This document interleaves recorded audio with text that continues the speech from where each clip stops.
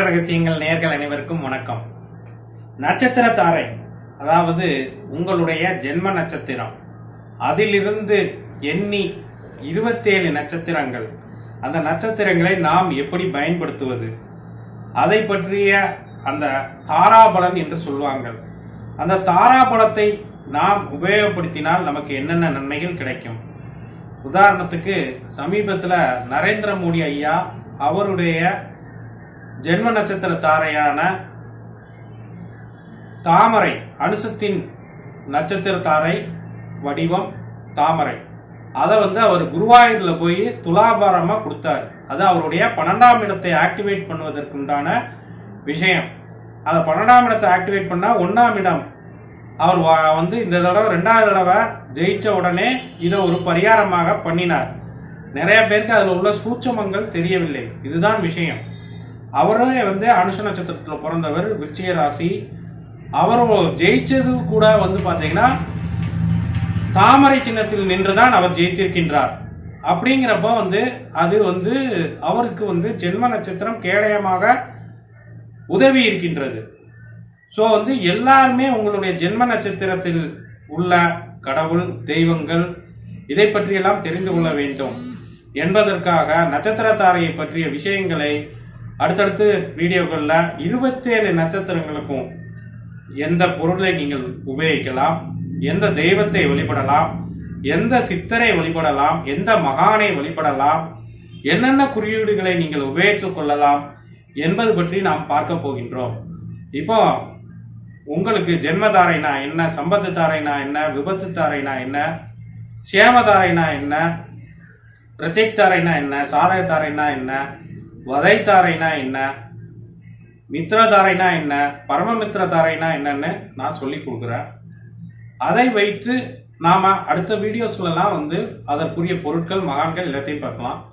ஜென்மதாரைனா உங்க நட்சத்திரத்திலிருந்து வரக்கூடிய ஒன்றாவது நட்சத்திரம் பத்தாவது நட்சத்திரம் பத்தொன்பதாவது நட்சத்திரம். சம்பத்து தாரைனா ரெண்டு பதினொன்று அதுக்கடுத்து இருபது. இப்படியே வரிசையா வரும். விபத்து தாரைனா உங்க நட்சத்திரத்துல இருந்து மூன்றாவது நட்சத்திரம் பனிரெண்டாவது நட்சத்திரம். அதற்கடுத்து இருபத்தி ஓராவது நட்சத்திரம் சேமதாரைனா உங்க நட்சத்திரத்துல இருந்து நான் வரக்கூடிய நாலாவது நட்சத்திரம். அதுக்கடுத்து பதிமூணு அதற்கடுத்து இருபத்தி ரெண்டு அது சேமதாரை அடுத்தபடியா பிரத்யேக் தாரைனா உங்க நட்சத்திரத்துல இருந்து ஐந்து அதற்கடுத்து பதினாலாவது நட்சத்திரம். அதற்கடுத்து இருபத்தி மூணாவது நட்சத்திரம். சாதகத்தாரைனா உங்க நட்சத்திரத்துல இருந்து ஆறு அடுத்ததாக பதினைஞ்சாயிரம் நட்சத்திரம் அதுக்கடுத்து இருபத்தி நாலாவது நட்சத்திரம். வதைத்தாரை அப்படிங்கிறது உங்க நட்சத்திரத்துல இருந்து ஏழாவது நட்சத்திரம் பதினாறாவது நட்சத்திரம் இருபத்தி ஐந்தாவது நட்சத்திரம். அடுத்தபடியாக மித்ரதாரைங்கிறது எட்டாவது நட்சத்திரம் உங்க நட்சத்திரத்துல இருந்து அதுக்கடுத்து பதினேழாவது நட்சத்திரம் அதுக்கடுத்து இருபத்தி ஆறாவது நட்சத்திரம். பரமமித்ரதாரை அப்படிங்கிறது உங்க நட்சத்திரத்துல இருந்து ஒன்பதாவது நட்சத்திரம் அதுக்கடுத்தபடியாக பதினெட்டாவது நட்சத்திரம் அதுக்கடுத்தபடியாக இருபத்தி ஏழாவது நட்சத்திரம். எல்லாத்தையும் கூட்டினீங்கன்னா அதே நம்பர் வரும். இப்போ ஜென்மதாரைனா ஒன்னாவது நட்சத்திரம். அப்போ பன்னெண்டு அப்படின்னா ஒன் பிளஸ் டூ இல்ல டென் அப்படிங்கிறது ஒன்று அதற்கு அடுத்தபடியாக உங்களுக்கு இந்த நட்சத்திரங்கள் எல்லாமே வந்து ஒரே மாதிரியான லெவல்ல தான் வரும்.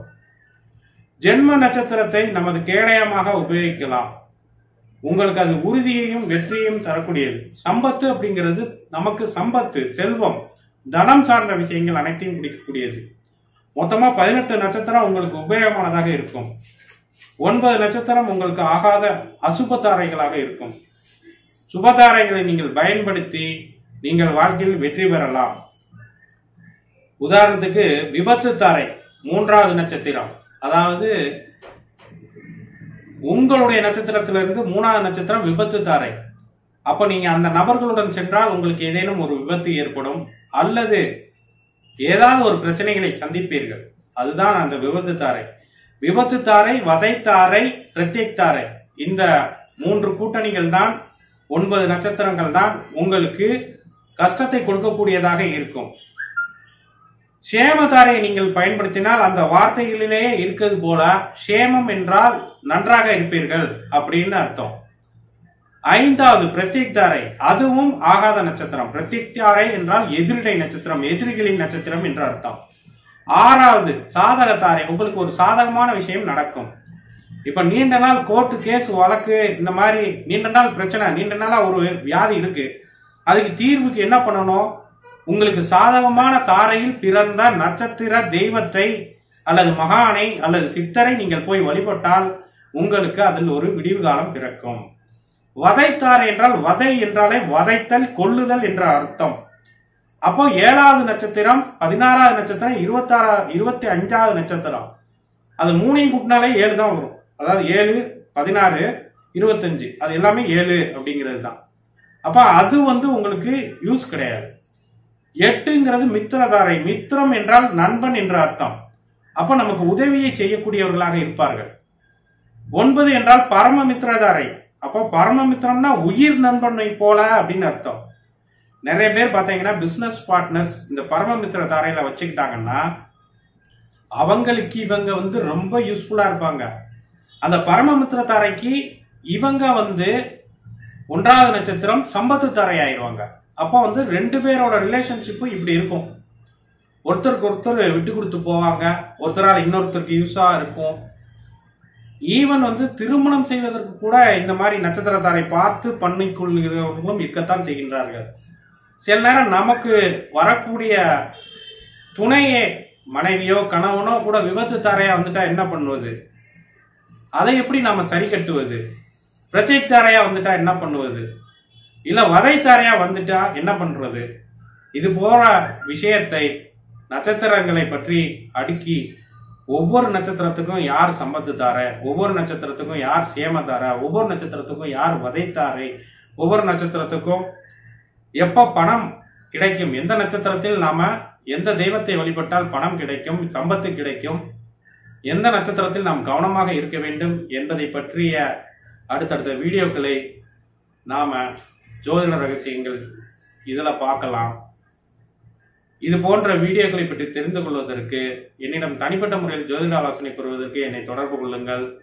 மேலும் இது போன்ற விஷயங்களை நான் கல்வியாக கற்றுக் கொடுத்து கொண்டிருக்கின்றேன். விருப்பம் உள்ளவர்கள் நேரடி வகுப்பில் கலந்து கொள்ளலாம் அல்லது ஆன்லைன் வகுப்பு வாட்ஸ்அப் வகுப்பில் கலந்து கொண்டு தெரிந்து கொள்ளுங்கள். இந்த வீடியோ உங்களுக்கு பிடிச்சிருந்ததுன்னா லைக் பண்ணுங்கள் கமெண்ட் பண்ணுங்கள் ஷேர் பண்ணுங்கள் சப்ஸ்கிரைப் பண்ணுங்கள் நன்றி மகிழ்ச்சி வணக்கம்.